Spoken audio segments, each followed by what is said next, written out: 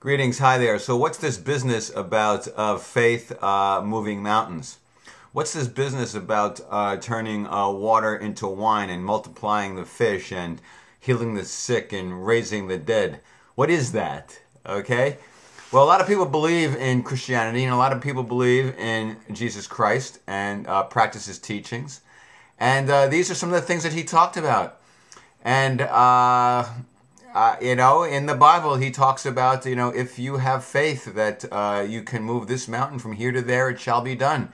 And he makes statements like, all these things that I have done, you can do and more.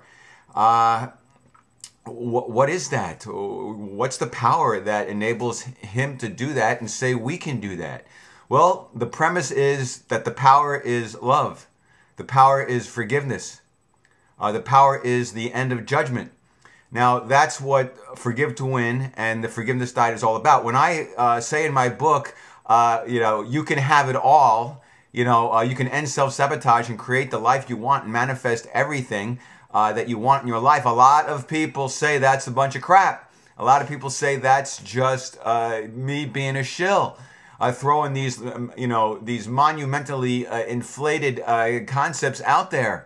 But I am saying no more and no less than what uh, basically uh, is discussed in the Bible by Christ.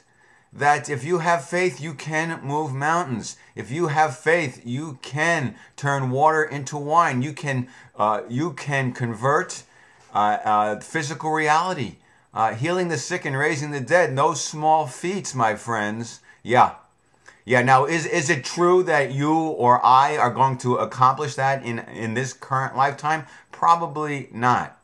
But that doesn't mean that it's not true. That doesn't mean that with the power of love and forgiveness and the end of judgment that we can't uh, convert the universe, that we can't heal the sick, heal ourselves, you know, uh, manifest uh, all sorts of riches and prosperity. You know, progress, not perfection, is is really what it's all about. We we are on a soul evolution towards a reality uh, that uh, is is uh, what, what, was manifested or created by God, not by our ego. Our ego has invented war. Our ego has invented disease. Our ego has invented bodies that get sick and decay and die, and not God. God didn't uh, create uh, this reality of war uh, and disease and famine and death and destruction. Okay, so uh, yeah, so what do you do? So maybe you can't have it all.